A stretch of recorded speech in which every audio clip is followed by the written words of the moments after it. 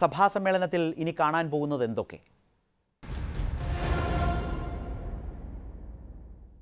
Budget ദിവസം സ്പീക്കറുടെ Diaz തകർത്തതിൽ ആറ് പ്രതിപക്ഷ എം എൽ എമാർക്കെതിരെ ജാമ്യമില്ലാ വകുപ്പ് പ്രകാരം ക്രൈംബ്രാഞ്ച് കേസെടുത്തു.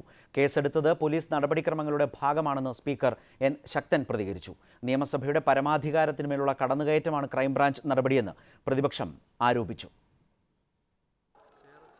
ബജറ്റ് ദിവസത്തെ ഈ സംഭവങ്ങളുടെ പേരിലാണ് പ്രതിപക്ഷ M L എമാരായ E P Jayarajan V Sivankutty K Ajith C K Sadasivan Kunhahammad K T Jaleel എന്നിവർക്കെതിരെ Thiruvananthapuram magistrate കോടതിയിൽ ക്രൈംബ്രാഞ്ച് എഫ്ഐആർ സമർപ്പിച്ചത്.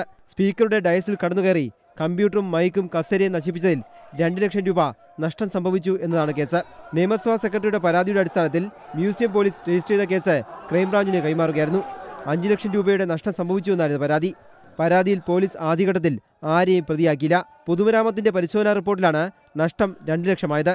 വീഡിയോ ദൃശ്യങ്ങൾ പരിശോധിച്ച പോലീസ് വാച്ച് ആൻഡ് വാർഡന്മാരുടെയും സഭയിലുണ്ടായിരുന്ന ഉദ്യോഗസ്ഥരുടെയും മൊഴി രേഖപ്പെടുത്തിയാണ് എം എൽ എമാരെ പ്രതിയാക്കിയത്. എം എൽ എമാർക്കെതിരെ കേസെടുക്കുന്നതിന് മുമ്പ് നിയമ സെക്രട്ടറിയുടെ ഉപദേശം ചോദിച്ചിരുന്നു. ക്രിമിനൽ കുറ്റം തെളിഞ്ഞതിനാൽ പ്രത്യേകിച്ച് ഒരു അനുമതിയും വേണ്ടെന്നായിരുന്നു ഉപദേശം. എം എൽ എമാർക്കെതിരെ പോലീസ് കേസെടുത്തത് നടപടിക്രമങ്ങളുടെ ഭാഗമായിട്ട് മാത്രമാണെന്ന് സ്പീക്കർ എൻ ശക്തൻ പറഞ്ഞു. എം എൽ എമാർ കേസുകളിൽ പ്രതിയായും ആ രീതിയിൽ ഇവിടെ നിന്ന് പിരിഞ്ഞു പോകണമെന്നുള്ള ആഗ്രഹം എനിക്കില്ല. ഞാൻ ഈ സഭാ സമ്മേളന കാലത്ത് തന്നെ കക്ഷി നേതാക്കന്മാരുമായി ബന്ധ ഒരുമിച്ചിരുത്തി അവരോട് സംസാരിക്കും. പോലീസിന്റെയും നിയമ സെക്രട്ടറിയുടെ നടപടി സഭയുടെ പരമാധികാരത്തിലേക്കുള്ള കടന്നുകയറ്റമാണെന്ന് പ്രതിപക്ഷം ആരോപിച്ചു. ഇതെല്ലാം നിയമസഭയിൽ വരാതിരിക്കാൻ നിയമസഭയെ അലങ്കോലപ്പെടുത്തുക എന്ന ദുഷ്ടലാക്കോടുകൂടി തെറ്റായിട്ടുള്ള ജനാധിപത്യ സംവിധാനത്തോടുള്ള സമീപനമാണ്. നിയമസഭാ സെക്ര- സെക്രട്ടറി എന്തെങ്കിലും നിയമോപദേശം കൊടുത്തിട്ട് കൊടുത്തിട്ടുണ്ടെങ്കിൽ അത് രാഷ്ട്രീയപരമായി കൊടുത്തിട്ട് നിയമോപദേശമാണ്. യഥാർത്ഥത്തിൽ ആ ദിവസം ഞങ്ങൾക്ക് നേരെ നടന്ന കയ്യേറ്റം ഞങ്ങൾ സ്പീക്കർക്ക് പരാതി കൊടുത്തു. സ്പീക്കർ ഞങ്ങളെ ആശുപത്രിയിൽ വന്ന് കണ്ടതാ. എന്നിട്ട് സ്പീക്കർക്ക് ഞങ്ങൾ പരാതി കൊടുത്തു. പക്ഷെ അതിൽ സ്പീക്കർ യാതൊരു നടപടിയും എടുത്തില്ല. നിയമസഭയിലെ അംഗങ്ങൾക്കുള്ള അവകാശം അവിടെ റൂൾ ബുക്ക് പ്രകാരമുള്ള അവകാശം മാത്രമേ ഉള്ളൂ. വനിതാ എം എൽ എമാരെ കൈവേറ്റം ചെയ്യുന്ന പരാതിയിൽ ഭരണപക്ഷത്തു നിന്നുള്ള Sivadas Nair Dominic Presentation M L A A T George എന്നിവർക്കെതിരെ കോടതി നേരിട്ട് കേസെടുത്തിട്ടുണ്ട്. K Arunkumar Asianet news Thiruvananthapuram. ഏതായാലും നാളെ ആരംഭിക്കാൻ പോകുന്ന സഭാ സമ്മേളനത്തെ വളരെ സജീവമായി ചർച്ചയാ ചർച്ചയ്ക്ക് ഇടയാക്കിയേക്കാവുന്ന ചില വിവരങ്ങൾ കൂടി ബാർ കേസുമായി ബാർ കോഴ കേസുമായി ബന്ധപ്പെട്ടും ഇന്ന് വാർത്തയായി വന്നിട്ടുണ്ട്. ബാർ ലൈസൻസ് ഫീസ് ഉയർത്താനുള്ള എക്സൈസ് കമ്മീഷണറുടെ നിർദ്ദേശം ഭേദഗതി ചെയ്തത് മന്ത്രി കെ ബാബുവിന്റെ നിർദ്ദേശപ്രകാരമാണെന്ന് മുൻ നികുതി സെക്രട്ടറി അജിത് കുമാറിന്റെ മൊഴി. എന്നാൽ ബാർ ലൈസൻസ് ഫീസ് ഉയർത്താനുള്ള ശുപാർശയിലെ ഭേദഗതിയെക്കുറിച്ച് മന്ത്രി കെ ബാബുവിന്റെ മൊഴിയിൽ ഒന്നും പറയുന്നുമില്ല. മന്ത്രിയുടെ അധ്യക്ഷതയിൽ ചേർന്ന യോഗമാണ് ലൈസൻസ് ഫീസ് ഇരുപത്തിമൂന്ന് ലക്ഷമായി നിജപ്പെടുത്തിയതെന്ന് എക്സൈസ് കമ്മീഷണറും മൊഴി നൽകിയിട്ടുണ്ട്. ന്യൂസ് അവറിന്റെ ഈ ചർച്ചയിൽ പങ്കുചേരുന്നത് സി പി നിയമസഭാ കക്ഷി നേതാവ് മുൻമന്ത്രി ശ്രീ സി ദിവാകരൻ മുതിർന്ന കോൺഗ്രസ് നേതാവ് ശ്രീ രാജ്മോഹൻ ഉണ്ണിത്താൻ മുതിർന്ന മാധ്യമപ്രവർത്തകൻ ശ്രീ ജേക്കബ് ജോർജ് ഒപ്പം തന്നെ രാഷ്ട്രീയ നിരീക്ഷകൻ അഡ്വക്കേറ്റ് ജയശങ്കർ എന്നിവരാണ്. ന്യൂസ് അവർ ചർച്ചയിലേക്ക്. ആദ്യം ശ്രീ സി ദിവാകരൻ ഈ നടപടി അത് സഭയുടെ പരമാധികാരത്തിനു മേലുള്ള കടന്നുകയറ്റമാണ് എന്നാണ് പ്രതിപക്ഷത്തിന്റെ വിമർശനം. പക്ഷേ സഭയിൽ പ്രതിപക്ഷം അന്ന് നടത്തിയതും ഒരു കടന്നുകയറ്റമാണ് കയ്യേറ്റമാണ് എന്ന് ശരിവെക്കുന്നു. അല്ലെങ്കിൽ ഒരു ക്രിമിനൽ നടപടിയാണ് എന്ന് ശരിവെക്കുന്നതായി മാറുന്നില്ലേ അന്വേഷണം? ആ അർത്ഥത്തിൽ അതിനെ അംഗീകരിക്കേണ്ടി വരുന്നില്ലേ? സഭ നാളെ തുടങ്ങാൻ പോകുന്നതിന് മുൻപ് എഫ് ഐ ആർ സംബന്ധിച്ച വിവരങ്ങൾ വന്നതിൽ സംശയാസ്പദമായി എന്തെങ്കിലും നിങ്ങൾ കാണുന്നുണ്ടോ? നാളെ സഭ തുടങ്ങാൻ പോകുന്നു. ആറ് പ്രതിപക്ഷ എം എൽ എമാർക്കെതിരെ കേസ് എഫ് ഐ ആർ എന്ന വിവരം തലേ ദിവസം പുറത്തു വരുന്നു. എന്തെങ്കിലും സംശയം പ്രതിപക്ഷത്തിന് ഇക്കാര്യത്തിലുണ്ടോ?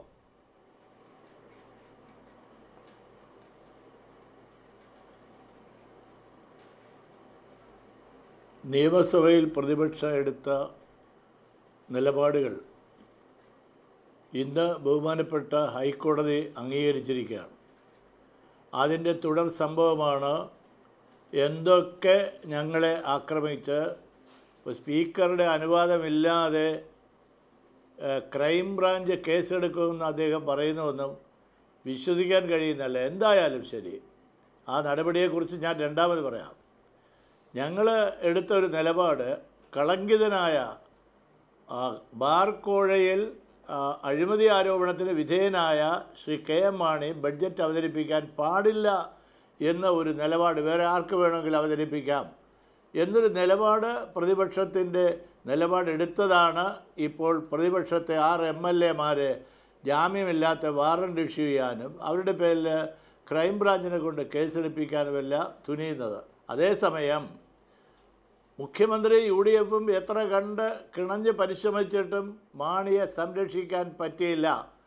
കഴിഞ്ഞ നിയമസഭയിൽ മാണിക്കുണ്ടായിരുന്ന കസേര ഇല്ല എന്നിപ്പോൾ പറയുന്നു.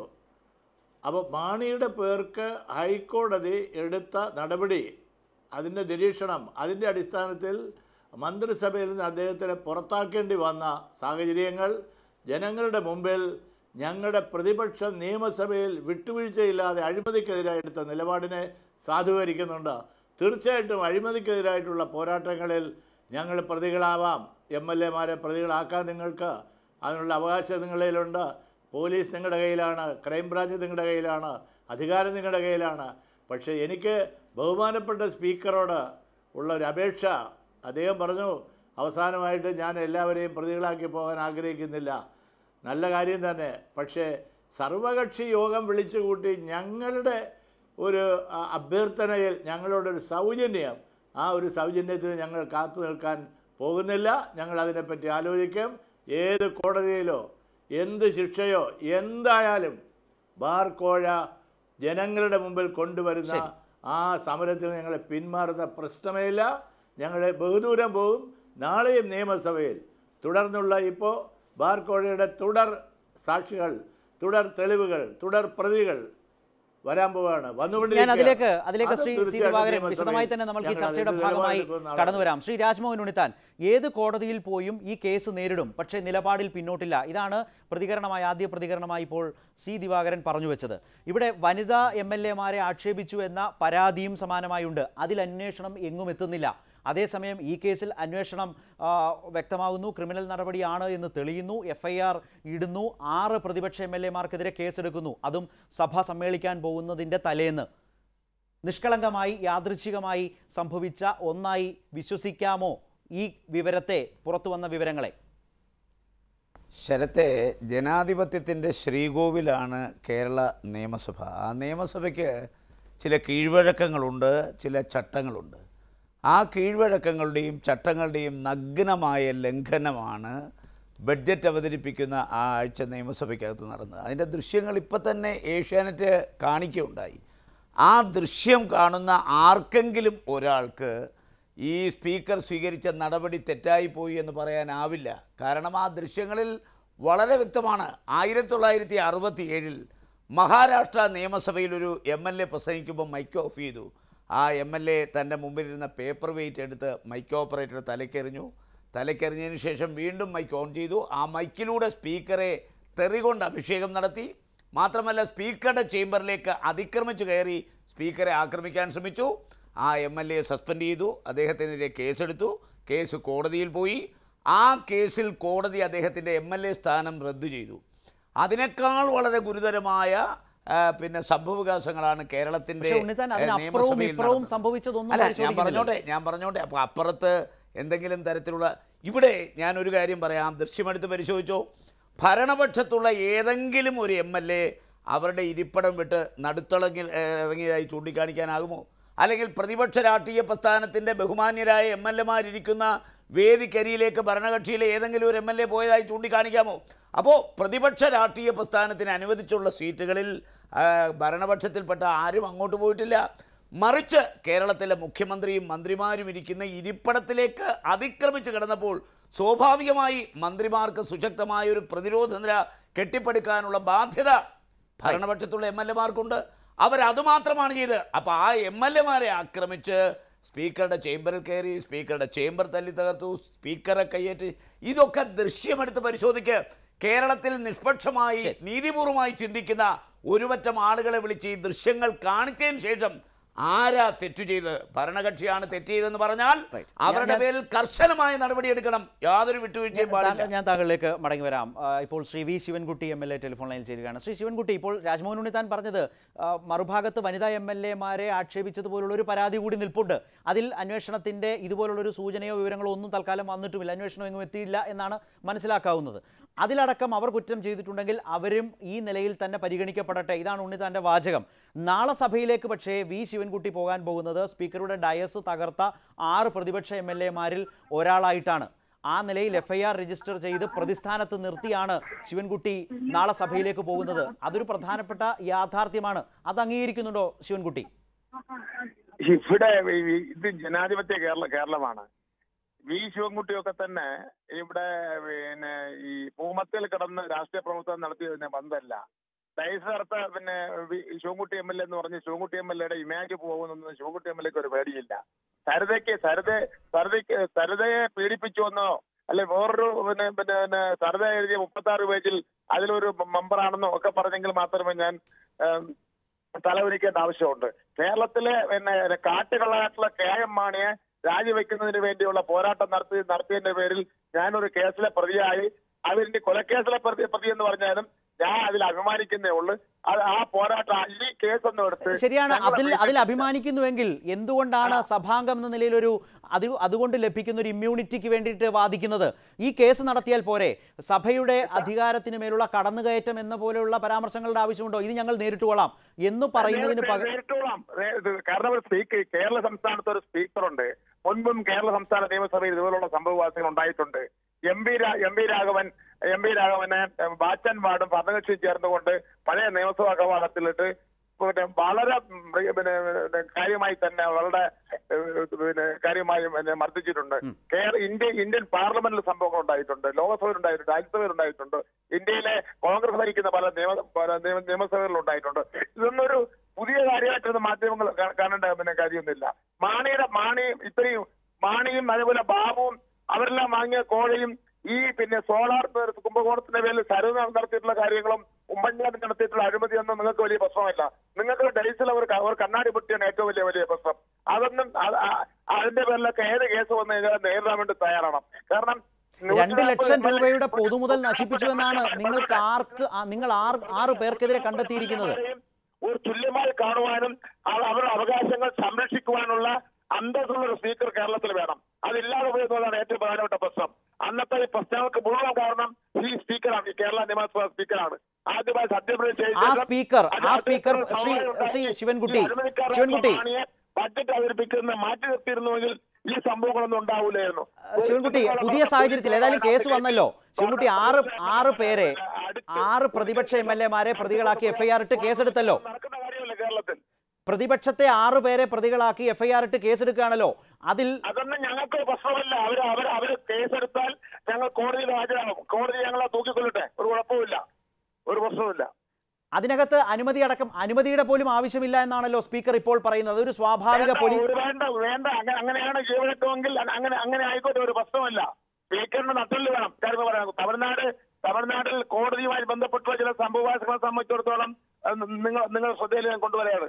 അന്ന് അവിടെ ഒരു സ്പീക്കർ സ്പീക്കർ ഉണ്ടായിരുന്നു എല്ലാ- എല്ലാവർക്കും കയറി എന്തും അഹ് പിന്നെ ത- നടപടി സ്വീകരിക്കാൻ കഴിയും പിന്നെ പിന്നെ കേറി കയറി കയറി നടപടി സ്വീകരിക്കാൻ കഴിയുന്ന സ്ഥലമല്ല ദേവസഭ എന്ന് പറയുന്നത്. സ്പീക്കർക്ക് ഒരു അധികാരമുണ്ട്. ആ സ്പീക്കർ അധികാരം ഉപയോഗിക്കാം. തിരിച്ച് ശിവൻകുട്ടി എത്ര വലിയ പ്രശ്നങ്ങൾ ഉണ്ടെങ്കിലും സമചിത്തതയോടുകൂടി ആ പ്രശ്നത്തെ നേരിടുക എന്ന് പറയുന്ന ഒരു ഉത്തരവാദിത്വം അംഗങ്ങൾക്കുണ്ട്. പ്രതിപക്ഷം അത് കാഴ്ചവെക്കാതിരുന്നത് കഴിഞ്ഞ കഴിഞ്ഞ കഴിഞ്ഞ ഒൻ- ഒൻപത് വർഷക്കാലമായി ഞാൻ കേരള സംസ്ഥാന നിയമസഭയിലെ മെമ്പറാണ്. സമയത്തോട് തന്നെ കാര്യങ്ങൾ കൊണ്ടുവരുന്നത്. സമയം എന്താ അഴിമതിക്കെതിരായിട്ട് സമരം ചെയ്യുന്നതിന് എന്താ പത്രമാധ്യമങ്ങൾ അങ്ങ് നിങ്ങൾ അങ്ങനെ പറയാത്തത്? കെ എം മാണി രാജിവെച്ചു. ആ ഒരു ആവശ്യമല്ല ഏറ്റവും പ്രധാനപ്പെട്ട പുസ്തകം അതിന് അതായത് ശബ്ദം ഉയർത്താൻ വേണ്ടി പാടില്ലയോ? ഞങ്ങളെ സരിത സരിത സരിതയെ ശിവൻകുട്ടി ഒരു കാര്യം കൂടി. അതായത് ഒരുപക്ഷെ ഒരുപക്ഷെ ഏതാണ്ട് ഏതാണ്ട് ഒരു മാസം മുമ്പോ മറ്റോ ആണ് ക്രൈംബ്രാഞ്ച് എഫ്ഐആർ ഇട്ടതായുള്ള വിവരങ്ങളുള്ളത്. പക്ഷെ ഇന്നാണ് വാർത്ത വന്നത്. ഇപ്പോൾ ശിവൻകുട്ടി പ്രതികരിച്ചതുപോലെ നാളെ പ്രതിപക്ഷം വളരെ വൈകാരികമായി ഈ വിഷയത്തെ ഉയർത്തിക്കാട്ടുകയും അതിലേക്ക് പ്രശ്നങ്ങളെ കേന്ദ്രീകരിക്കുകയും ചെയ്താൽ നിങ്ങൾ നാളെ കണക്കുകൂട്ടിക്കൊണ്ടു പോകുന്ന നിങ്ങളുടെ പ്രതീക്ഷകളെ തകിടം മറിക്കാം എന്നും ഒരുപക്ഷെ സർക്കാർ കാണുന്നുണ്ടാവാം. ഇതിലേക്ക് നിങ്ങളെല്ലാം ശ്രദ്ധ ഊന്നിയാൽ സർക്കാരിന് കുറെ കൂടി എളുപ്പമാവില്ലേ ഇപ്പോഴത്തെ കാര്യ ഇപ്പോഴത്തെ ഒരു സാഹചര്യത്തിൽ? അങ്ങനെ ഒരു കണക്കൂട്ടൽ സർക്കാരിനുണ്ട് എങ്കിൽ പ്രതിപക്ഷം എന്തു ചെയ്യും? നിലവിൽ അദ്ദേഹം ടെലിഫോൺ ലൈനിൽ ഇല്ല എന്ന് വിചാരിക്കുകയാണ് ശ്രീ ശിവൻകുട്ടിയാണ് ഈ പ്രതികരിച്ചത്. ഈ നടപടി ആ, നടപടിയുമായി സർക്കാർ മുന്നോട്ട് പോകട്ടെ പോലീസ് പോകട്ടെ ഞങ്ങളതിനെ നേരിട്ടുകൊള്ളാം എന്ന നിലപാടിലാണ് അദ്ദേഹം പ്രതികരിച്ചത്. മറ്റ് അതിഥികളിലേക്ക് ശ്രീ ജേക്കബ് ജോർജിലേക്ക് വേണ്ടി ജയശങ്കറിലേക്ക് ഞാൻ വേഗം മടങ്ങി വരാം. ഒരു ചെറിയ ഇടവേളയ്ക്ക് ശേഷം. വീണ്ടും ചർച്ചയിലേക്ക്. ശ്രീ ജേക്കബ് ജോർജ് നാളെ സഭ തുടങ്ങാനിരിക്കുന്നതിന്റെ തലേന്ന് ഇന്ന് ഈ എഫ് ഐ ആർ വിവരങ്ങൾ പുറത്തുവരുന്ന ഒരു സാഹചര്യം പല വിഷയങ്ങൾ കൊണ്ട് വളരെ സങ്കീർണമായ രാഷ്ട്രീയ സാഹചര്യം വളരെ ചൂട് പിടിച്ചു നിൽക്കുന്ന ഒരു ഘട്ടത്തിലേക്കാണ് അപ്രതീക്ഷിതമായി ഇതുകൂടി പ്രതിപക്ഷത്തിന് മുൻപിലേക്ക് വരുന്നത്. ഇതിനെ ജേക്കബ് ജോർജ് വിശകലനം ചെയ്യുന്നത് അല്ലെങ്കിൽ നിരീക്ഷിക്കുന്നത് ഏതു വിധത്തിലാണ്? വളരെ സ്വാഭാവികമായി വന്ന ഒരു വാർത്തയായി വിവരമായി ഇതിനെ കാണാമോ? അതോ നാളെ അടക്കമുള്ള സഭാ സമ്മേളനത്തെ ഇതും സ്വാധീനിച്ചേക്കാമോ? ശരത്തെ നിയമസഭയിൽ നിന്നല്ല നിയമസഭയിലോ പുറത്തോ സർക്കാരിലോ രാഷ്ട്രീയക്കാർ ചെയ്യുന്നതിനകത്തെല്ലാം രാഷ്ട്രീയമുണ്ട്. കാരണം രാഷ്ട്രീയ ഇത് ഇതിനകത്തും രാഷ്ട്രീയമുണ്ട്. കാരണം ഏകദേശം ഒരു നാലര വർഷം മുമ്പ് ഉമ്മൻചാണ്ടി കേരളത്തിലെ മുഖ്യമന്ത്രിയായി വന്നത് ഒരു വലിയ ശക്തിയായിട്ടാണ്. അദ്ദേഹം ഒരു വലിയ മുഖ്യമന്ത്രിയായിട്ട് വരുന്നു. ഒരു അക്ഷരാർത്ഥത്തിൽ ഒരു വലിയ മുഖ്യമന്ത്രിയായി തന്നെയായിരുന്നു ഉമ്മൻചാണ്ടിയുടെ തുടക്കം. ഇങ്ങോട്ട് ഏറ്റവും ഒടുവിൽ അരുവിക്കര ഉപതെരഞ്ഞെടുപ്പ്. അത് കഴിഞ്ഞപ്പോഴത്തേക്ക് ഇതാ ഭരണ തുടർച്ച. മുഖ്യമന്ത്രിയായിട്ട് വീണ്ടും ഉമ്മൻചാണ്ടി നേതൃത്വം കൊടുക്കുന്നു. ഉമ്മൻചാണ്ടി ജയിച്ചു കഴിഞ്ഞു നിയമസഭാ തെരഞ്ഞെടുപ്പിൽ. ആ ഒരു പ്രചാരണത്തിന്റെ മൂർധന്യത്തിലാണ് പല കാര്യങ്ങളും ഇവിടെ സംഭവിച്ചിരിക്കുന്നത്. ഏറ്റവും ഒടുവിലത്തെ പഞ്ചായത്ത് തിരഞ്ഞെടുപ്പ്. അത് അരുവിക്കര മോഡലിനെ തിരുത്തി എഴുതി. അതിന്റെ അകപ്പുറത്ത് ബി ജെ പി വെള്ളാപ്പള്ളി കൂട്ടുകെട്ട്. ഒരു ശക്തിയായിട്ട് വെള്ളാപ്പള്ളി നടേശൻ ജാഥ നടത്തുന്നു. ഇന്നിപ്പോൾ ഏറ്റവും ഒടുവിലത്തെ സംഭവവികാസം കെ എം മണി അഴിമതി കേസിൽ രാജിവെച്ചിരിക്കുന്നു. അപ്പോൾ അൻപത് വർഷത്തെ നിയമസഭാ പാരമ്പര്യമുള്ള കെ എം മണി ഇല്ലാതെയാണ് മന്ത്രിയായിട്ടല്ലാതെയാണ് ഒരു നിയമസഭാ സമ്മേളനം തുടങ്ങുന്നത്. യു ഡി എഫിനെ സംബന്ധിച്ച് സംബന്ധിച്ചിടത്തോളം തികച്ചും ശക്തി പരീക്ഷണത്തിന്റെ വേദി കൂടിയാവുകയാണ്. അവിടെ പ്രതിപക്ഷത്തെ ഒന്നിരുത്താൻ ഏത് മാർഗം കിട്ടിയാലും നോക്കാം എന്ന് നോക്കുമ്പോൾ ഇത് പഴയ ആക്രമണ കേസ് ആറ് എം എൽ എമാർക്കെതിരെയുള്ള കേസ് തട്ടിയെടുത്തിരിക്കുന്നു. അത് രാഷ്ട്രീയം തന്നെയാണ് യാതൊരു സംശയമില്ല പ്രതിപക്ഷം സ്വാഭാവികമായിട്ട് ഒന്നാം ദിവസം പ്രതി ദിവസം എന്ന് പറയുന്നത് പ്രത്യേക ദിവസമാണ്. ആ ദിവസം എല്ലാ പ്രതിപക്ഷം എല്ലാ സന്നാഹങ്ങളുമായിട്ടായിരിക്കും രംഗത്ത് വരിക. അതുകൊണ്ട് അവരുടെ ശ്രദ്ധ തിരിക്കുക അവരെ ഒന്ന് ഡിസ്ട്രാക്റ്റ് ചെയ്യുക. അതൊരു ആ ഒരു ലക്ഷ്യം മാത്രമാണ് ഇതിന്റെ പിന്നിൽ. അത് രാഷ്ട്രീയം തന്നെയാണ്. അഡ്വക്കേറ്റ് ജയശങ്കർ കളിയുടെ തന്ത്രം മാറ്റുന്ന ചില ശീലങ്ങളോ ശൈലികളോ ഇതിൽ പ്രതീക്ഷിക്കാമോ? ബാർ കോഴ കേസിന്റെ വീര്യം കൂടി നിൽക്കുന്ന ഒരു സമയത്ത് ഏറ്റവും ഒടുവിൽ നികുതി മുൻ നികുതി സെക്രട്ടറിയുടെ മൊഴി പോലും വന്ന സാഹചര്യം അത് ചർച്ചയുടെ ഭാഗമായി തന്നെ നമുക്ക് അടുത്ത ഘട്ടത്തിൽ പരിശോധിക്കാം. ഇതടക്കമുള്ള ഒരു സാഹചര്യം വന്നു നിൽക്കെ പെട്ടെന്ന് ഇങ്ങനെ ഒരു സാഹചര്യം വരുന്നു. നേരത്തെ ശ്രീ വി ശിവൻകുട്ടിയൊക്കെ പ്രതികരിച്ചതുപോലെ വികാരപരമായി പ്രശ്നത്തെ സമീപിക്കുന്ന ഒരു സാഹചര്യം സഭയിൽ സൃഷ്ടിച്ച സൃഷ്ടിച്ചേക്കാം എന്ന ആലോചനകളടക്കം ഇതിനു പിന്നിലുണ്ടാകാമോ? ഏതാണ്ട് ചില വാർത്തകൾ സൂചിപ്പിക്കുന്ന ഒരു മാസം മുമ്പ് എഫ് ആർ നൽകിയതാണ് ക്രൈംബ്രാഞ്ച് എന്ന് പറയുന്ന വിവരങ്ങൾ ഇതിൽ വന്നിരിക്കുന്നു. വനിതാ എം എൽ പ്രശ്നം പരിശോധിക്കപ്പെടാത്ത സാഹചര്യം അല്ലെങ്കിൽ അതുമായി ബന്ധപ്പെട്ട അന്വേഷണം പൂർത്തിയാകാത്ത സാഹചര്യം നിൽക്കുന്നു. സഭ എങ്ങനെ മുന്നോട്ട് പോകണം എന്ന് നിർണയിക്കുന്നതിന്റെ ഭാഗമായി കൂടി ഈ പ്രശ്നത്തെ അഡ്വക്കേറ്റ് ജയശങ്കർ കാണുന്നുണ്ടോ? ഞാൻ അങ്ങനെ കരുതുന്നില്ല. കാരണം ഈ ക്രൈംബ്രാഞ്ചിന്റെ എഫ് ഐ ആർ എന്നൊക്കെ പറഞ്ഞ് വേറെ ഓലപ്പാമ്പാണ്. ഇപ്പോൾ എഫ് ഐ ആർ ഉണ്ടായാലും എന്തുണ്ടാവും?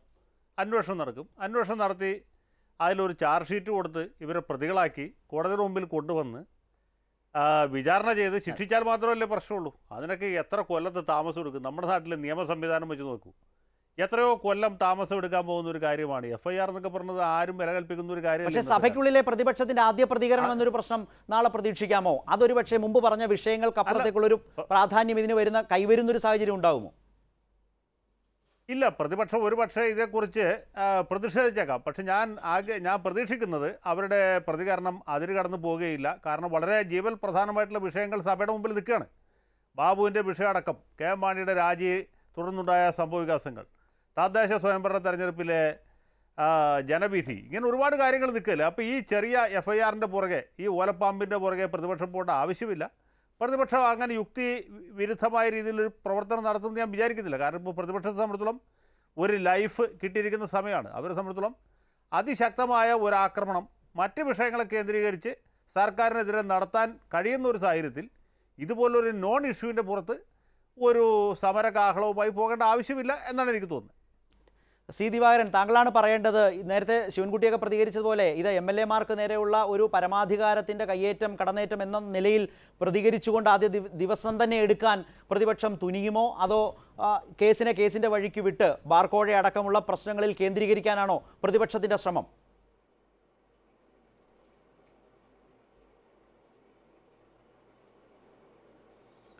ഇല്ല ഈ ഗവൺമെന്റ് നടത്തിയ ഞെട്ടിപ്പിക്കുന്ന അഴിമതികൾക്കെതിരായിട്ടുള്ള നിരന്തരമായ സമരങ്ങൾ നടത്തുന്ന ഞങ്ങൾക്കറിയാം പല പരിക്കുകളും പറ്റുമെന്ന്. ഇതിനകം തന്നെ പരിക്കുകൾ പറ്റിയിട്ടുണ്ട്. ആയിരക്കണക്കിന് എൽ ഡി എഫിന്റെ പ്രവർത്തകർ കേസിലെ പ്രതികളായിട്ടുണ്ട്. പല സമരങ്ങളും ഇപ്പോൾ ഇത് സഹിക്കാൻ വയ്യാത്തതാണല്ലോ ഇപ്പോൾ രമേശ് ചെന്നിത്തല ഒരു പുതിയ ബില്ലുമായിട്ട് ഇറങ്ങിയിട്ടുണ്ട്.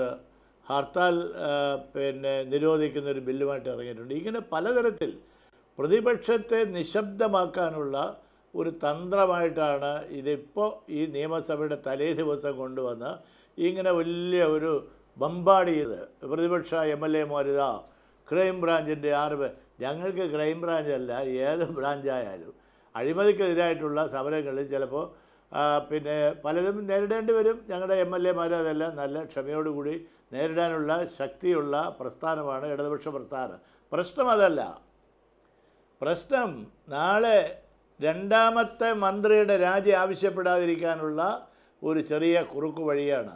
ഇതൊരു ചെറിയ നനഞ്ഞ പടക്കമാണിത്. ആരെങ്കിലും ഉമ്മൻചാണ്ടിക്ക് ഉപദേശിച്ചു കൊടുത്തെങ്കിൽ ഇത് പറഞ്ഞാൽ ഞങ്ങളെല്ലാം വാലും ചുരുട്ടി പൊക്കളയും അതുകൊണ്ട് നാളെ കുശാലായിട്ട് കാര്യങ്ങളെല്ലാം നടത്തി ബാബുവിനെ പിടിച്ചുകൊണ്ട് രക്ഷപ്പെടാമെന്ന് നോക്കുന്ന മാണി മാണിയെ പിടിച്ച് രക്ഷപ്പെടാൻ നോക്കി മാണിയെ കൊണ്ട് നടന്ന് കൊണ്ട് നടന്നതും ചാപ്പാനെ ഞാൻ വരാം. വളരെ പ്രധാനപ്പെട്ട ഒരു വിവരമാണ് ശ്രീ സി. ദിവാകരൻ താങ്കൾ ഇപ്പോൾ സൂചിപ്പിച്ചത്. അതായത് ശ്രീ രാജ്മോഹൻ ഉണ്ണിത്താൻ നേരത്തെ സി ദിവാകരൻ സൂചിപ്പിച്ച രണ്ടാമത്തെ മന്ത്രിയുടെ രാജി എന്ന ആവശ്യത്തിലേക്ക് പ്രതിപക്ഷം കേന്ദ്രീകരിക്കാൻ പോവുകയാണ്. അത് അദ്ദേഹം തന്നെ വ്യക്തമാക്കി കഴിഞ്ഞു.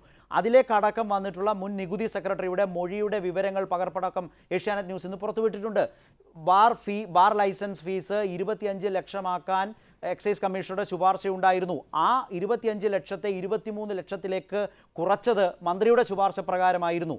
എന്നാൽ അത് എന്തുകൊണ്ടാണ് എന്ന് മന്ത്രി നൽകിയ മൊഴിയിൽ പോലും വിജിലൻസിനോട് വിശദീകരിക്കാൻ തയ്യാറായിട്ടില്ല. ആദ്യം കൂട്ടുക ഭീമമായി കൂട്ടും എന്ന് ബാർ ഉടമകളെ ധരിപ്പിക്കുക എന്നിട്ട് കുറയ്ക്കുക. ഏതാണ്ട് ബാർ ഉടമകൾ പറഞ്ഞ പരാതിയുടെയും ആരോപണത്തിന്റെയും വസ്തുതകളെ കുറേയേറെ ശരിവെക്കുന്ന വിധത്തിലേക്കുള്ള മൊഴിയുടെ വിവരങ്ങളാണ് വന്നിട്ടുള്ളത്. നാളെ സഭയിലടക്കം സർക്കാരിന് മറുപടി പറയുന്ന പറയേണ്ട സാഹചര്യം അത് സൃഷ്ടിച്ചേക്കാം. അതാണ് നേരത്തെ ദിവാകരൻ സൂചിപ്പിച്ചത്. രണ്ടാമത്തെ മന്ത്രിയുടെ രാജി. അതാണ് പ്രതിപക്ഷത്തിന്റെ ആവശ്യം. അല്ല പ്രതിപക്ഷ രാഷ്ട്രീയ പ്രസ്ഥാനങ്ങൾക്ക് ഭരണപക്ഷത്തിനെതിരെ ആഞ്ഞടിക്കാനുള്ള സകല ജനാധിപത്യ അവകാശവുമുണ്ട്. പക്ഷേ സഭയ്ക്ക് പുറത്തു നടത്തുന്ന സമരമായിരിക്കരുത് ഒരിക്കലും സഭയ്ക്കകത്ത് നടത്തുന്നത്. നിയമസഭ എന്ന് പറയുന്ന നിയമനിർമ്മാണ സഭയാണ്. ആ നിയമനിർമ്മാണ സഭയിൽ ജനപ്രതിനിധികൾ വിഷയങ്ങൾ അവതരിപ്പിക്കേണ്ട രീതിയിൽ അവതരിപ്പിക്കണം. അല്ലാതെ പുറത്ത് പ്രതിപക്ഷ രാഷ്ട്രീയ പ്രസ്ഥാനങ്ങൾ നടത്തുന്ന സമരത്തിന്റെ അതേ മാതൃക ജനാധിപത്യത്തിന്റെ ശ്രീകോവിലായ സഭയ്ക്കകത്ത് ആവർത്തിക്കാൻ ഒരിക്കലും പാടില്ല. പിന്നെ എന്റെ ബഹുമാന്യനായ സുഹൃത്ത് ശ്രീ സി ദിവാകരൻ പറയുന്നത് കേട്ടാൽ തോന്നും പ്രതിപക്ഷ രാഷ്ട്രീയ പ്രസ്ഥാനത്തിന്റെ സമരം കൊണ്ടാണ് ശ്രീ കെ എം മാണി ഇവിടെ രാജിവെച്ചതെന്ന്. എല്ലാവർക്കും അറിയാം ഈ ചർച്ചയിൽ പങ്കെടുക്കുന്നവർക്കും അറിയാം ഈ ചർച്ച കേൾക്കുന്നവർക്കും അറിയാം. ഇവിടെ വിജിലൻസ് കോടതി ഒരു തുടരന്വേഷണത്തിന് ഉത്തരവിട്ടു. ആ തുടരന്വേഷണം അങ്ങ് നടത്തിയാൽ മതിയായിരുന്നു. അതേസമയം ആ വിജിലൻസിനെ കുറിച്ച് നടത്തിയ പരാമർശങ്ങൾക്കെതിരെ ഹൈക്കോടതിയിൽ പോയപ്പോൾ ഹൈക്കോടതി ആ പരാമർശനങ്ങൾ നീക്കം ചെയ്യുകയും ശ്രീ മാണിക്കെതിരെ രണ്ട് കമന്റുകൾ പാസ്സാക്കുകയും ചെയ്തു. ആ കമന്റുകൾ ജയശങ്കർ പല ആവർത്തി പറഞ്ഞിട്ടുള്ള അതുകൊണ്ട് ഞാൻ ആവർത്തിക്കുന്നില്ല. ആ. കമന്റിന്റെ പേരിൽ കേരളത്തിലെ ധനകാര്യമന്ത്രി രാജിവെക്കണമെന്ന് ആവശ്യപ്പെട്ടു. ആ കമന്റ് വന്നില്ലെങ്കിൽ മാണി രാജിവെക്കില്ല. അപ്പൊ കോടതിയിൽ നിന്ന് മന്ത്രി ബാബു? കോടതിയിൽ നിന്നുള്ള ഒരു പരാമർശത്തിന്റെ അടിസ്ഥാനത്തിലാണ് മാണിക്ക് രാജിവെക്കേണ്ടി വന്ന. അല്ലാതെ പ്രതിപക്ഷ രാഷ്ട്രീയ പ്രസ്ഥാനത്തിന്റെ സമരത്തിന് അതിന് അതിനുശേഷം അവിടെയാണ് അവിടെയാണ് ഉണ്ണിത്താൻ ഞാൻ പറഞ്ഞത്. ബാർ കോഴ കേസിന്റെ വീര്യം കൂടിയ കൂടിയ സാഹചര്യമല്ലേ? ബാർ കോഴ കേസിന്റെ വീര്യം കൂടി മാണി രാജിവെച്ച ശേഷം സഭയിലേക്ക് വരുന്നു. മാണിയുടെ ഇരിപ്പിടം തന്നെ മാറുന്ന നിലയിൽ അസ്വസ്ഥമായ ഒരു സാഹചര്യം പ്രതീക്ഷിക്കാം. ഏതെങ്കിലും തരത്തിൽ പരസ്യമായ അസ്വസ്ഥത ഉണ്ടാകുമെന്നല്ല അതിനർത്ഥമെങ്കിൽ പോലും. ഇവിടെ ആ നിലയിലേക്ക് ബാബുവിന്റെ കേസും നീങ്ങിക്കൊണ്ടിരിക്കുകയാണോ? മുമ്പ് സൂചിപ്പിച്ച പുതിയ വിവരങ്ങൾ കൂടി പരിഗണിച്ചാൽ. നമ്മുടെ സഭയിൽ ഒരു മന്ത്രി രാജിവെച്ചാൽ സ്വാഭാവികമായി ആ മന്ത്രിയുടെ ഇരിപ്പിടം മാറുമെന്നുള്ളത് സാമാന്യ ബുദ്ധിയുള്ള എല്ലാവർക്കും അറിയാം പക്ഷേ.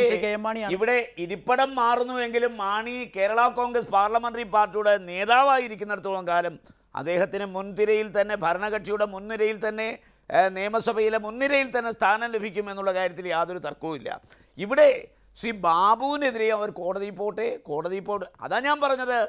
ഇവിടെ വ്യവസ്ഥാപിതമായൊരു കുറ്റാന്വേഷണ സംവിധാനമുണ്ട്. ഒരു നീതിന്യായ വ്യവസ്ഥതയുണ്ട്. അതിനെ സ്നേഹിക്കാനും ബഹുമാനിക്കാനും ആദരിക്കാനും അംഗീകരിക്കാനും പ്രതിപക്ഷ രാഷ്ട്രീയ പ്രസ്ഥാനങ്ങൾ പിന്നെ തീരുമാനിക്കണം. അപ്പോൾ ബാബുവിനെതിരെ നാളെ കോടതിയിൽ പോയി ബാബു ഈ മന്ത്രിസ്ഥാനം തുടർന്ന് ശരിയല്ലെന്ന് കോടതി പറഞ്ഞാൽ ആ നിമിഷം മാണി രാജിവെച്ച പോലെ അദ്ദേഹം രാജിവെക്കും. സഭയ്ക്കകത്ത് ബാബു- ഭീഷണിയുടെ സ്വരത്തിൽ ഇത്തരം കാര്യങ്ങൾ ചെയ്താൽ മാണിയുടെ കാര്യത്തിൽ എന്നതുപോലെ തൽപര കക്ഷികൾ കോടതിയിൽ പോയി ഉത്തരവ് വാങ്ങിക്കൊണ്ടു വന്നോളൂ. സഭയിൽ ബഹളം വെച്ചിട്ടോ പ്രതിഷേധിച്ചിട്ടോ കാര്യമില്ല.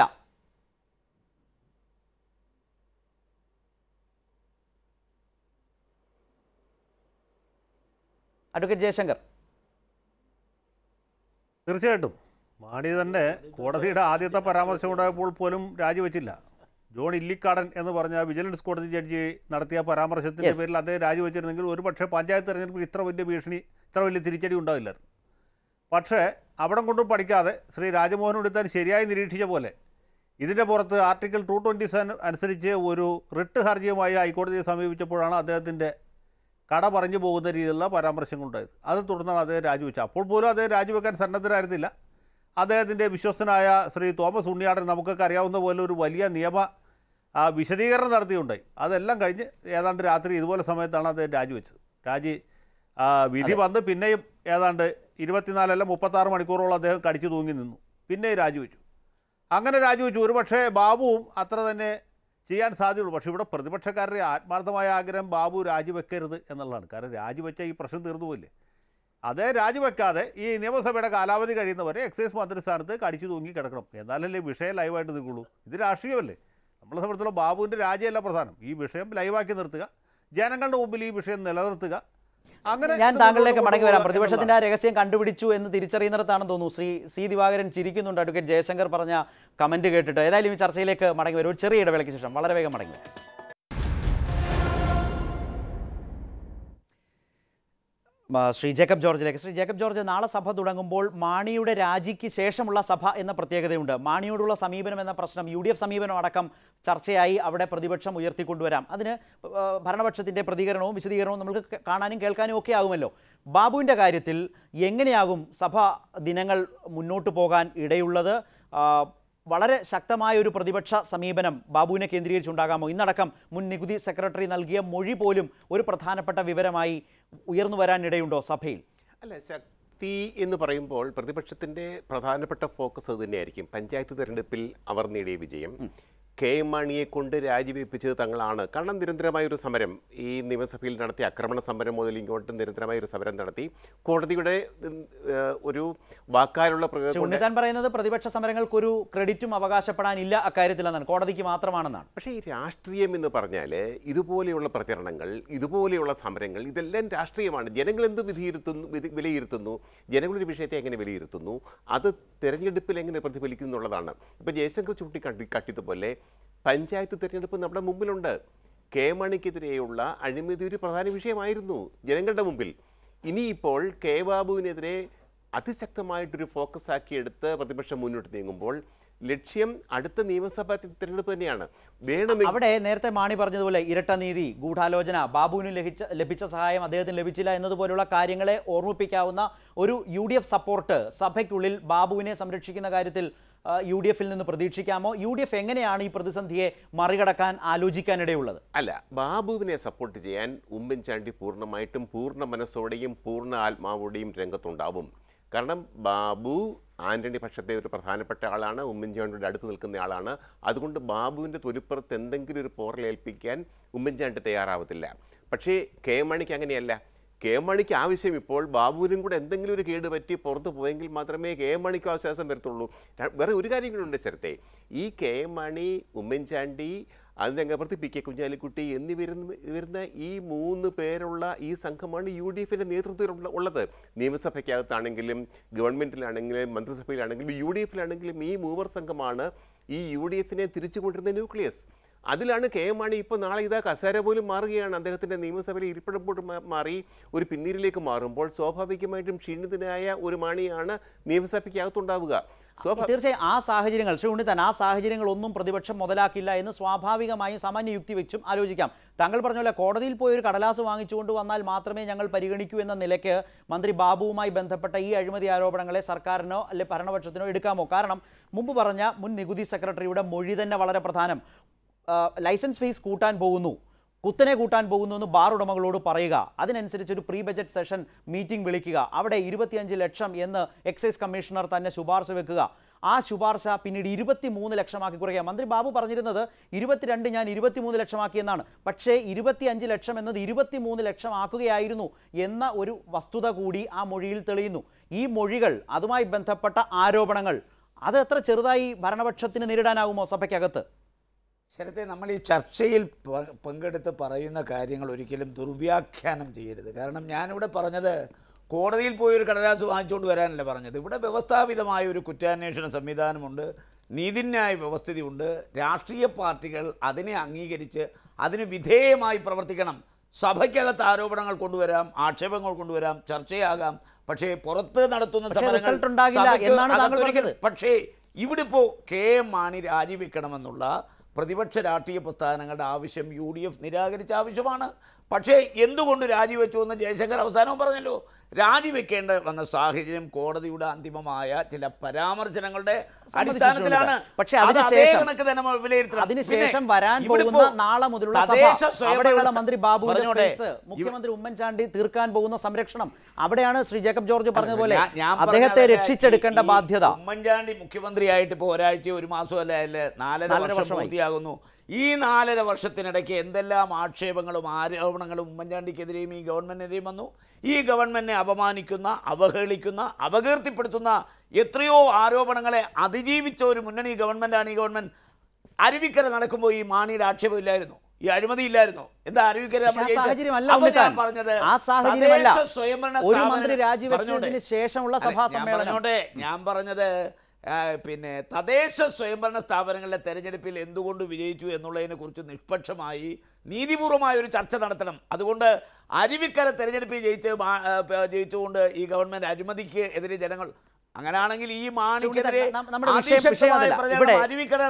പ്രതിപക്ഷം ഇവിടെ ഞാൻ വരാം അതായത് ഉണ്ണിത്താൻ പറയുന്നത് പോലെ വലിയ രാഷ്ട്രീയ ആലോചനകൾക്കാണോ പ്രതിപക്ഷം സഭാ സമ്മേളനത്തെ ഉപയോഗിക്കുക. അരുവിക്കര തദ്ദേശ തെരഞ്ഞെടുപ്പ്. അതിനപ്പുറത്തേക്ക് നിങ്ങൾക്ക് വളരെ കൃത്യമായ ഒരു ലക്ഷ്യമുണ്ടോ? അത് ഈ കേസുമായി ബന്ധപ്പെട്ട മന്ത്രി ബാബുവിന്റെ പങ്കാളിത്തത്തെ സംബന്ധിച്ചാണോ? ആ പങ്കാളിത്തത്തെ സംബന്ധിച്ച് വളരെ കൃത്യമായ ഒരു നിലപാടുമായിട്ടാണോ പ്രതിപക്ഷം സഭയിലേക്ക് പോകുക? അതോ ഉണ്ണിത്താൻ പറഞ്ഞതുപോലെ എല്ലാ വിഷയങ്ങളെയും സ്പർശിക്കുന്ന ഒരു ഒരു ഒരു സമീപനമാകുമോ പ്രതിപക്ഷത്തിന് ഈ സഭാ സമ്മേളന കാലയളവിൽ?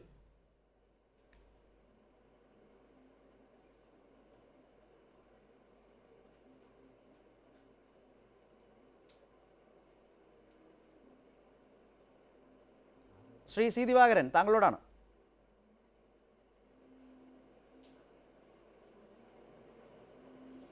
ആ എന്നോടാണ്. അതെ. ഞാൻ ആദ്യമായിട്ട് പിന്നെ നമ്മുടെ സുഹൃത്ത് ഉണ്ണിത്താനോട് എന്റെ ഒരു അഭിപ്രായം ഞാൻ അറിയിക്കുകയാണ്. താങ്കളുടെ ഉപദേശപ്രകാരം ഉള്ള ഒരു പെരുമാറ്റ ചട്ടത്തിന്റെ അടിസ്ഥാനത്തിൽ പ്രതിപക്ഷം നിയമസഭയുടെ അകത്ത് നടപടിയെടുക്കാനും പുറത്ത് ചെയ്യണ ചെയ്യ- ചെയ്യാൻ അകത്ത് ചെയ്യാൻ പാടില്ല എന്നൊക്കെ പറയുന്ന കാര്യങ്ങൾ താങ്കൾക്കിത് പറഞ്ഞുകൊണ്ടിരിക്കാം. താങ്കൾക്ക് വേറെ കാര്യങ്ങളൊന്നും ഇല്ലല്ലോ.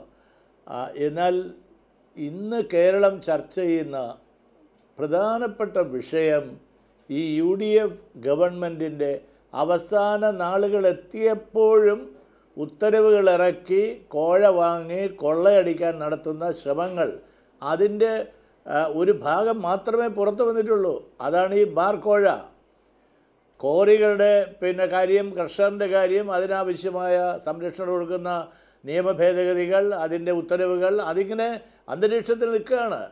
പക്ഷെ നാളെ നിയമസഭയിൽ ഈ നിയമസഭാ സമ്മേളനത്തിൽ ഈ ബാർ കോഴയിൽ ബന്ധപ്പെട്ട എല്ലാ കുറ്റവാളികളെയും പുറത്തു കൊണ്ടുവരാനുള്ള ഒരു സമീപനമാണ് ഞങ്ങൾ നിയമസഭയുടെ അകത്ത് എടുക്കാൻ പോകുന്നത്.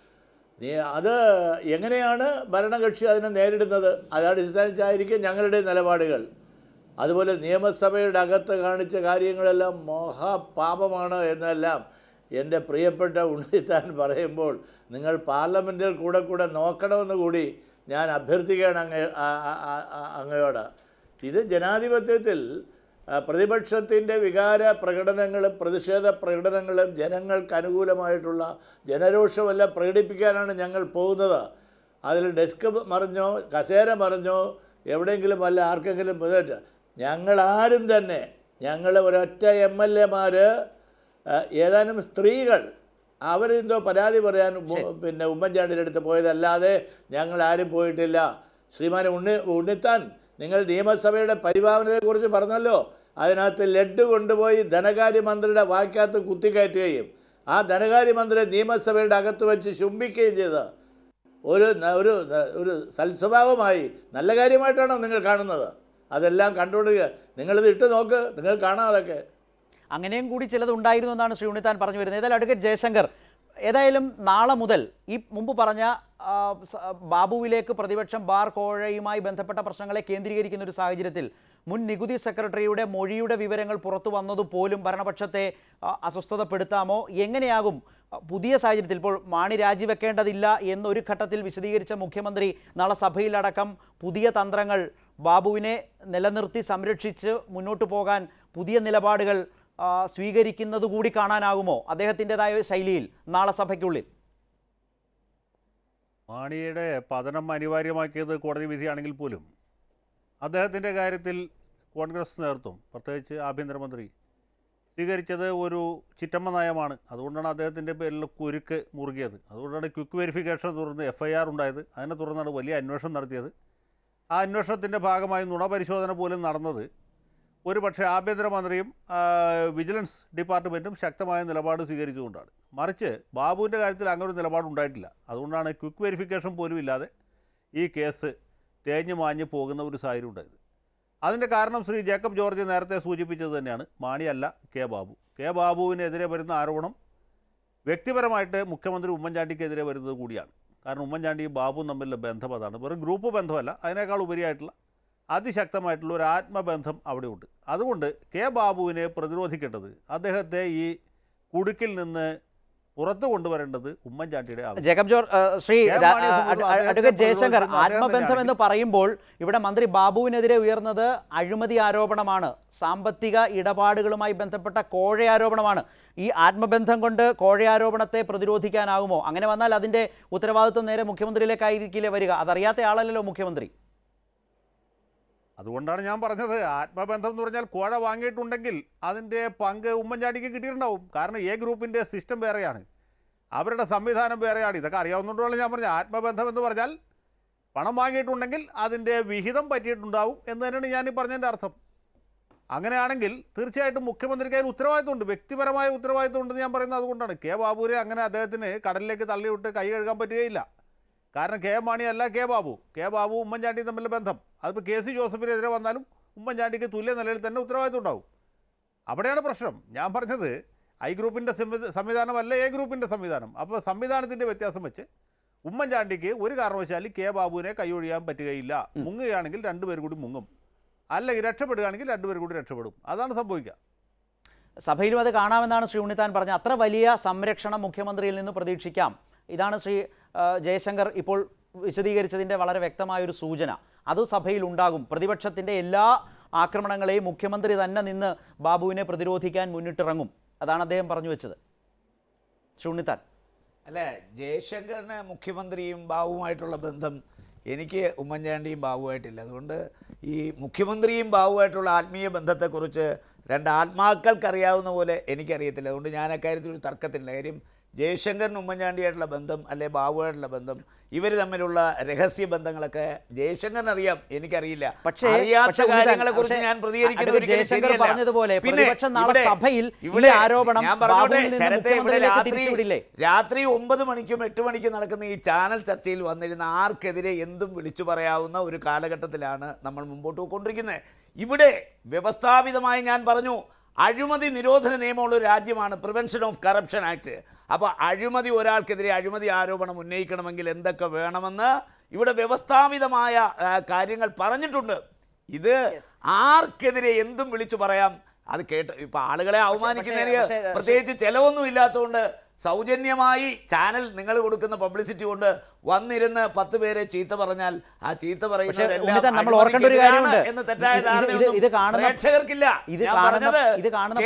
മുഖ്യമന്ത്രി ബാബു വാങ്ങിച്ചതിന്റെ കമ്മീഷൻ വാങ്ങിച്ചതൊക്കെ ഒരു ചാനൽ ചർച്ചയിൽ വന്നിരുന്ന് അതും വിവരമുള്ള ഒരു വക്കീൽ വിവരം ഇല്ലാത്ത ഒരാൾ പറഞ്ഞാൽ നമുക്കത് ക്ഷമിക്കാം. വിവരമുള്ള ഒരു വക്കീൽ വിവരമുള്ള ഒരു വാചകത്തിൽ മറുപടി ഉണ്ടോ? ഞാൻ ചോദിക്കട്ടെ? അദ്ദേഹം പറയട്ടെ. ഇവിടെ ഇവിടെ ഒരു മുഖ്യമന്ത്രിയും ഒരു മന്ത്രിയും തമ്മിൽ കൈക്കൂലി വാങ്ങിച്ചത് പങ്കിട്ടെടുത്താൽ എന്തുകൊണ്ട് അവരെ നിയമത്തിന് മുമ്പിൽ. കൊണ്ടുവന്ന് പ്രതിക്കൂട്ടിലാക്കി അകത്തടയ്ക്കുന്നില്ല തമ്മിൽ വ്യത്യാസമൊന്നുമില്ല. സംഗതി ഒന്ന് തന്നെയാണ്. സംശയമുണ്ടെങ്കിൽ ജേക്കബ് ജോർജിനോട് ചോദിക്കും. അദ്ദേഹം പറഞ്ഞു അത് തന്നെയാണ്. ഇത് കണ്ടുകൊണ്ടിരിക്കുന്ന ആളുകൾക്കും അറിയാം. ബാബു ഉമ്മൻചാണ്ടി തമ്മിലുള്ള ബന്ധം എന്താണ്? ജയശങ്കർ പറയുന്ന ഒരു ബന്ധമുണ്ടോ എന്ന് എനിക്കറിയില്ല. എനിക്കറിയാത്ത കാര്യം എങ്ങനെയാ ഞാൻ പറയുന്നത്? ജയശങ്കർ. അഡ്വക്കേറ്റ് ജയശങ്കർ. സി ഞാൻ പറഞ്ഞല്ലോ. ഞാൻ പറഞ്ഞാൽ ഞാൻ ഉറച്ചു നിൽക്കുകയാണ്. അത് ഈ പരിപാടി കാണുന്ന ആളുകൾക്കും അറിയാവുന്നതാണ്. പ്രതിപക്ഷം സഭയ്ക്കകത്തും ഇപ്പോൾ ജയശങ്കർ പറഞ്ഞതുപോലെ ഒരു ആരോപണത്തിന്റെ ആരോപണത്തിലേക്കാണോ കാര്യങ്ങളെ നീക്കുന്നത് സി ദിവാകരൻ നാളെ അടക്കം സഭയിൽ?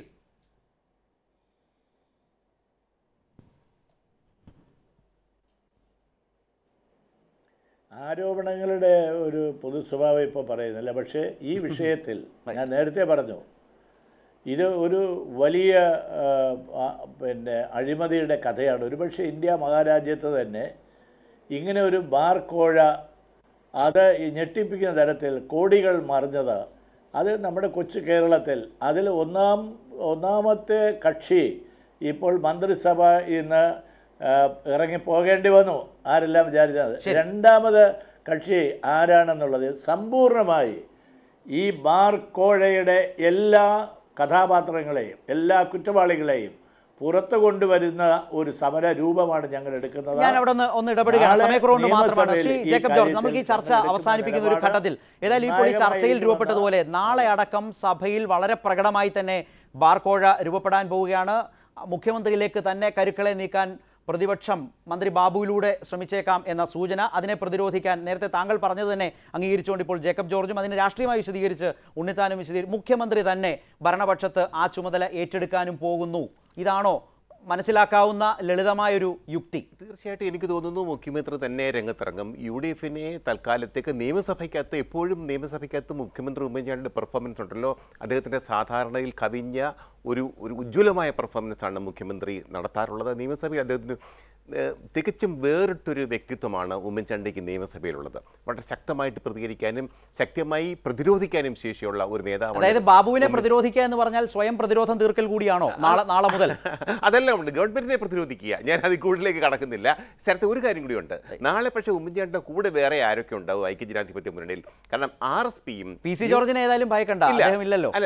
ജോർജ് അപകട ആ അതെ ജോർജ് അത് അതേസമയം യു ഡി എഫിനകത്തെ ആർ എസ് പിയും ജനതാദളും ഈ കഴിഞ്ഞ പഞ്ചായത്ത് തിരഞ്ഞെടുപ്പിൽ പരാജയത്തിന്റെയും നാണക്കേടിന്റെയും കൈപ്പിനീര് കുടിച്ചിറക്കിയിട്ടാണ് അവർ നിയമസഭയിലെത്തുക. അവർ എത്ര കണ്ട് ഈ യു ഡി എഫിന്റെ കൂടെ നിൽക്കും എന്നുള്ളതും തന്നെയല്ല ഇപ്പൊ വരാൻ പോകുന്ന നിയമസഭാ തെരഞ്ഞെടുപ്പിന്റെ ചില നീക്കങ്ങളും ഒക്കെ നടക്കുന്നത് നിയമസഭയ്ക്കകത്താണ്. തീർച്ചയായിട്ടും അതുകൊണ്ട് തന്നെ ഈ സമ്മേളനം പ്രസക്തമാണ്. വളരെയധികം നന്ദി ശ്രീ ജേക്കബ് ജോർജ്. ഈ ചർച്ചയിൽ പങ്കുചേർന്നതിന് Shri C Divakaran Shri Rajmohan Unnithan Shri Jacob George advocate Jaishankar ഒപ്പം Shri V Sivankutty M L A ഞങ്ങളുടെ ടെലിഫോൺ ലൈനിലൂടെയും നിലപാടുകൾ വിശദീകരിച്ചതിന് എല്ലാവർക്കും വളരെയധികം നന്ദി. ന്യൂസ് ഓറുമായി സഹകരിച്ചതിന് ഇടവേളയിലേക്ക്.